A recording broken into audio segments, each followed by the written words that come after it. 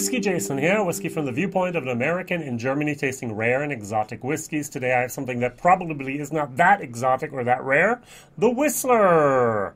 Irish whiskey, distiller select, double oaked, small batch, triple distilled, Boann Distillery, County Meath, and Ireland. My favorite part is the top here. It says the full bodied and deep one. Quotation marks, fine Irish whiskey with EY. And then my favorite, favorite part distilled, matured, and bottled on Irish soil. Irish soil, my boy. Nothing else but the finest Irish soil. Uh, who knows? Who knows?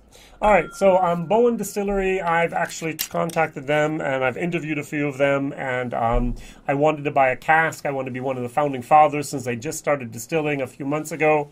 Um, I waited, unfortunately, a little bit too long, more than two months, um, because the original 200 and some casks had already been sold. Sad, sad, sad. We'll see if I can get another cask here that I can actually buy and share with some of my friends over here in Germany as well.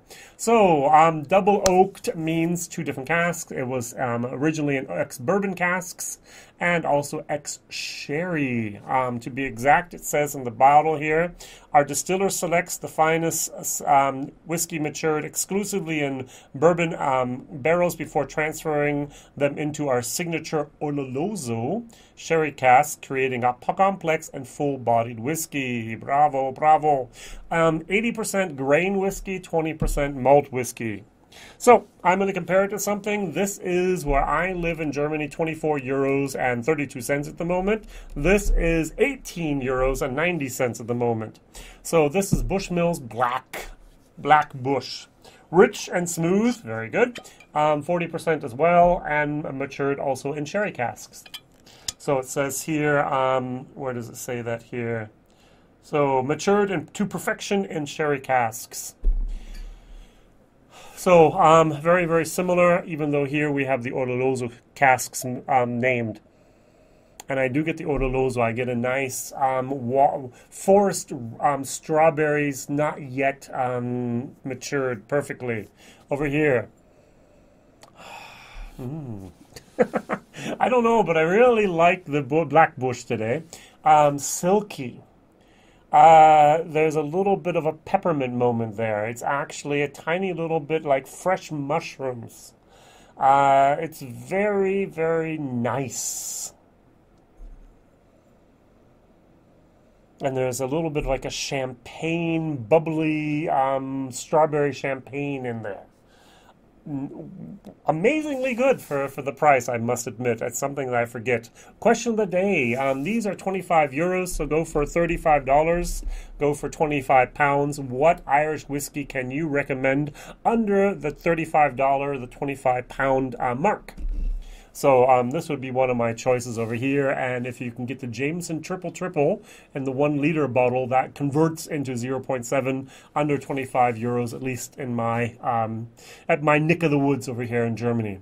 Rare and exotic, maybe not, but I'm the first one to have done a video about this in English, and therefore I can do it. That's my rule. If no one else has done a video, I can do a video about that. So you will not normally not be seeing me do normal um, whiskeys, but they're always going to be a little bit more exclusive, a little bit more exotic, and a little bit more rare. As I love to say, I'm the one who's doing videos about whiskey you may never see. All right.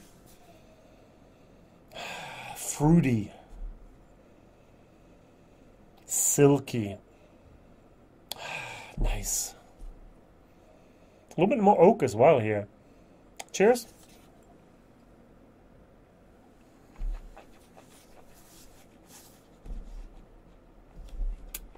Mm. Mm-hmm. Mm-hmm. So nice, ugly old wood, fruit, a little bit of alcohol, ugly old wood again, and it, at the end there's a little bit of a harmonization of the old ugly wood and a little bit of the fruitiness of the sherry. Oh wow, that is a roller coaster of um, of tastes and of experiences, and they're not all good. wow.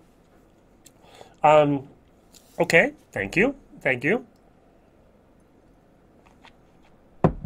My expectations for 25 euros were not high, but they were not ah, this does not meet my expectations. I'm so sorry. Over here, the Black Bush. Mm. hmm